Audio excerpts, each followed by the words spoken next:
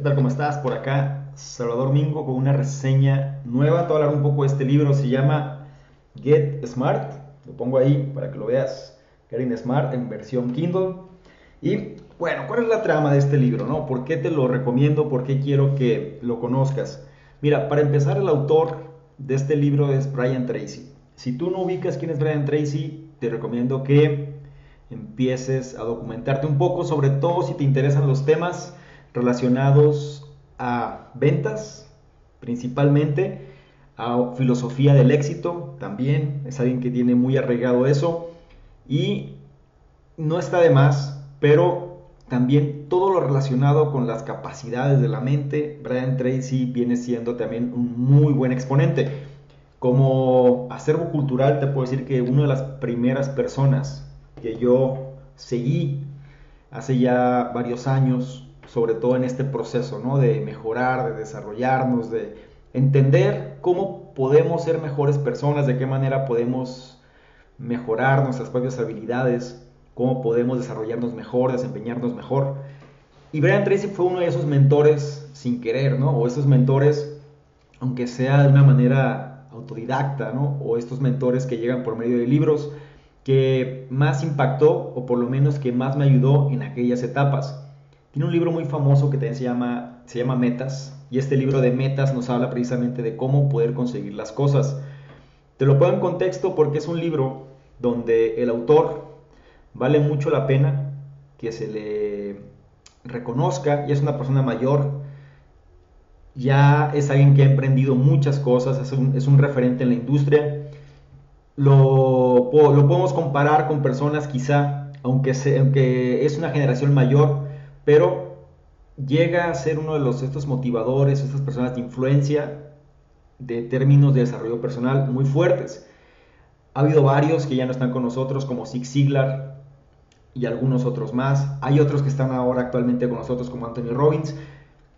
Jim Rohn tampoco ya está con nosotros, pero Brian Tracy es una de estas personas donde, pues bueno, fue de aquellos precursores de todo este tipo de desarrollos, de todo, este, de todo este tipo de formas de pensar, y vale la pena conocer de él si es que todavía no conoces de él. Bueno, sobre este antecedente o este preámbulo te voy a hablar entonces un poco de su último libro, Get Smart, Getting Smart, el cual nos enseña cómo ser más inteligentes.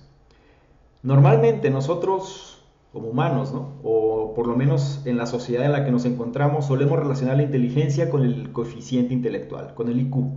Solemos pensar que si tenemos problemas en términos de números, si no se nos dan las matemáticas, si se nos complican las ciencias, si se nos complica el aprendizaje, la escuela, pues que no hay una verdadera capacidad o estamos por debajo ¿no? de la media o simplemente las otras personas son más inteligentes que nosotros.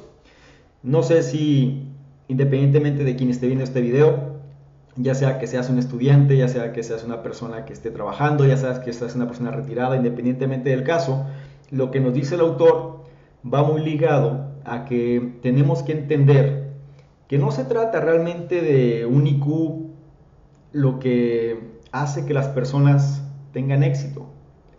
De hecho, él dice que las personas que tienen el mayor éxito o las personas que realmente admiramos o las personas que son muy reconocidas, personas que suelen ser muy exitosas, ¿no? En términos, hablando del contexto en el que nos encontramos actualmente, dice que no es que sean diferentes a lo que somos nosotros, simplemente son personas que tienen más desarrollado su capacidad de redes neuronales. Dicho de otra manera, son personas las cuales han trabajado a lo largo de su vida para que estas neuronas, digámoslo así, se conecten mejor entre ellas.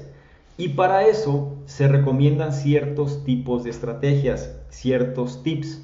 Ya hablamos de temas similares a este en el libro Supercerebro de Deepak Chopra. Son diferentes, si no has visto la reseña del libro de Deepak Chopra, lo vas a encontrar en este canal también. Sin embargo, lo que lo hace diferente, este libro de Getting Smart, es que es la versión de Brian Tracy en relación a cómo personas que admiramos puede que no sean tan diferentes de nosotros y sobre todo qué cosas tenemos que hacer para hacer que estas personas o para emular lo que estas personas hacen, porque al final algo que es importante aclarar. Es decir, si nosotros pudiéramos expandir quizá un 5%, 10% nuestra capacidad o las conexiones que existen entre las redes neuronales, ¿no? o entre neurona y neurona, las conexiones que hay, pues sería mucho más sencillo el aprendizaje, sin entrar en contextos del cerebro, ¿no? o sea, específicamente de su anatomía, la biología y demás, sí te puedo decir que la inteligencia no va ligado a un IQ, sino más bien va ligada a nuestra capacidad de respuesta. ¿A qué me refiero? Este libro hace énfasis en eso. Es decir, no se trata de lo que uno sabe o lo que uno aprende, sino que se trata de la manera en la que reacciona sobre las circunstancias que ocurren. Hay un término que también se mencionó en el libro Supercerebro que es la neuroplasticidad.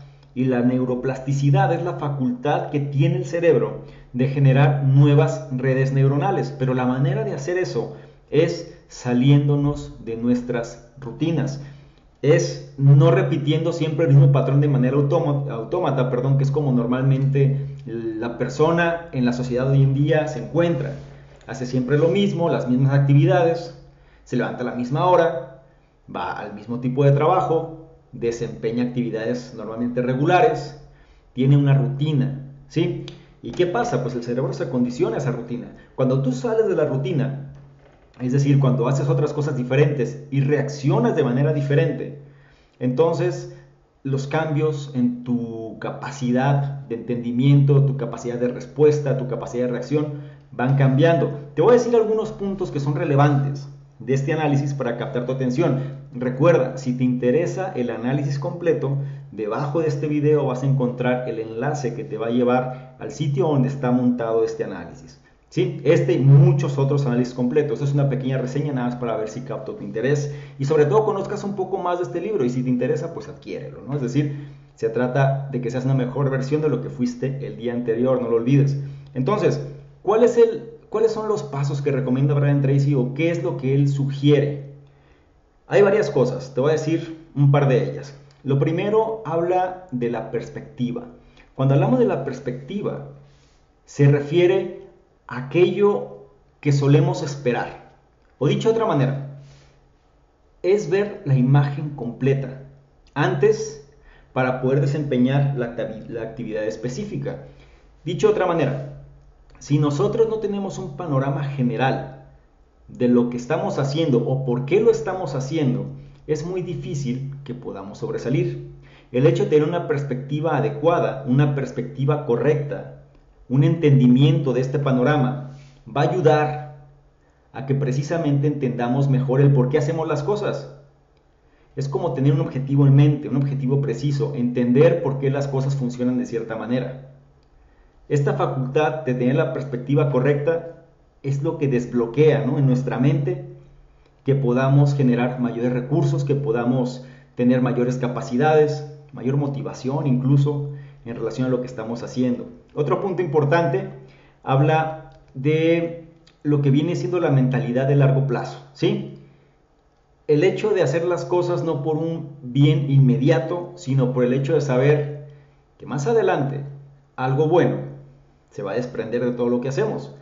Y la mentalidad de largo plazo nos condiciona a saber que tenemos que trabajar sobre algo que queremos, sin importar que las cosas no se, estén, no se vean de manera inmediata, o sea, sin entrar en gran tecnicismo ni entrar en grandes detalles. Simplemente es importante tener una mentalidad de largo plazo dentro de todo lo que hagamos en la vida.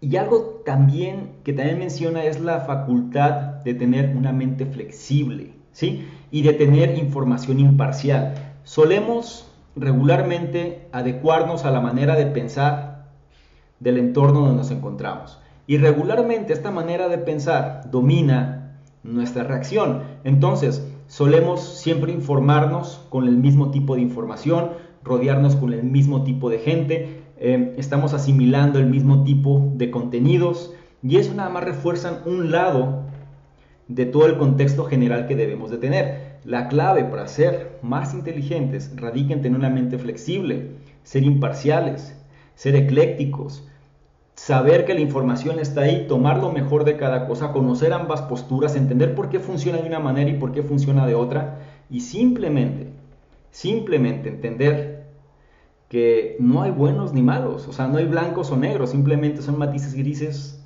a lo largo de un amplio espectro. No me quiero extender más, me gusta dejar estos videos con una duración alrededor de 10 minutos, así que vamos a dejarlo hasta aquí. Recuerda que debajo de este video vas a encontrar el enlace que te va a llevar a, al, análisis, completo, perdón. Y si te interesa saber más, bueno, el libro se llama Get Smart de Brian Tracy y lo vas a poder adquirir quizá en compañías como Amazon, es muy sencillo que lo encuentres porque seguramente el libro en inglés, no lo he visto en español.